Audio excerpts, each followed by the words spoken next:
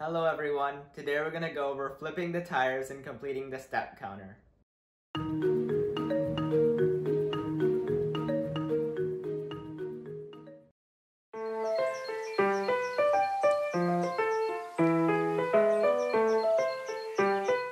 Alrighty, let's quickly go over the step counter mission first, since it is very simple. In my 595 points video, my robot pushes the step counter slider really quickly and smoothly. Here's how it works. On the step counter, there is this pendulum. If the robot pushes the slider too quickly, the pendulum moves to lock the slider from moving. This attachment basically stops the pendulum from moving.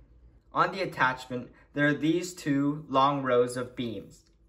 These beams sandwich the pendulum and prevents the pendulum from moving, which also prevents the pendulum from locking the slider. Watch how the attachment prevents the pendulum from moving. And since this mechanism is only pushed by the robot and not actually connected to the robot, after the robot finishes this mission, it just leaves the mechanism there.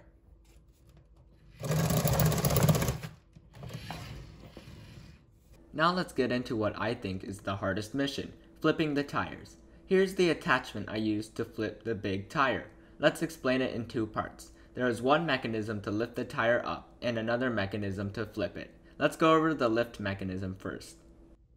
Here's what the first mechanism looks like when taken off of the attachment. It's basically a grab and lift mechanism. Using one motor, you can both grab something and lift it up at the same time. Here's how it works. The grab and lift mechanism basically works by transferring energy to different places at different times. Let's take a look at these two yellow gears. Let's call the gear up here the grabbing gear and the gear over here the lifting gear.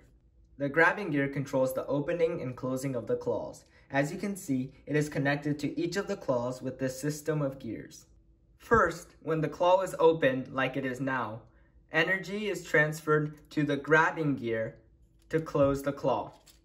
As you can see, now that the claw is closed, the grabbing gear can no longer be turned in the same direction. That means that energy is no longer transferred to it. And since energy can no longer be transferred to the grabbing gear, energy is now transferred to the lifting gear to lift the claw. Now, as you can see, energy is only transferred to the lifting gear. The grabbing gear doesn't move, only the lifting gear does. In summary, the mechanism used to grab and lift the big tire works by transferring energy to different places. Energy is first transferred to the grabbing gear to close the claw. After the claw is closed, the grabbing gear is locked and the energy can no longer be transferred to it. Now, energy is transferred to the lifting gear to lift the claw. This is what causes the grabbing and lifting. The second part is the flipping mechanism. As you can see, the claw holds the tire using these two arc pieces. On each of the arc pieces, there are these pointy pieces and these tires to grip the big tire. Here's another view of how these pointy pieces and these tires hold on to the big tire. And now, as you can see, each of these arc pieces is connected to the claw using these hinges. And you may notice that the hinge is actually below the arc piece. So up here is the arc piece, and down here is the hinge. The hinges below the arc pieces, along with the wheels on top of the arc pieces, cause imbalance. Watch how, as the claw is lifted up, this imbalance causes gravity to flip the arc pieces and flip the tire.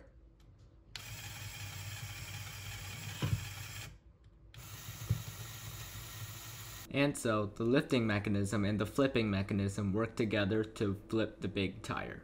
You'll notice that there are a lot of gears powering this attachment. Since the tire is heavy, a lot of torque, or rotational power, is needed to lift it. These gears back here are organized in small to large gear ratios, which generate more torque but slows down the movement. If you want to learn more about gear ratios, I have already made a video about them. After the big tire is flipped over, this beam falls down to put the figure onto the tire. Since the small tire is allowed to be taken back to base, my robot takes it back to base instead of flipping it, because it's easier to flip the small tire by hand. Because the best way to learn about mechanisms is to actually build them, I have linked the PDF instructions below. However, there is something really important to keep in mind when building these mechanisms. Because Studio is not perfect, there are two ways that the instructions are different from the actual mechanism. First, these two beams are not connected, while on the actual attachment, they are. So to connect these two beams, all you need to do is take a frictionless pin, put it here, and connect the beams. Second, there is no tire in Studio.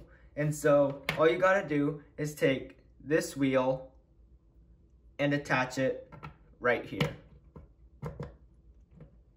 I hope this video helped your team out. If you enjoyed it, please hit like and subscribe for more tutorials coming out in the future about completing FLL replay missions.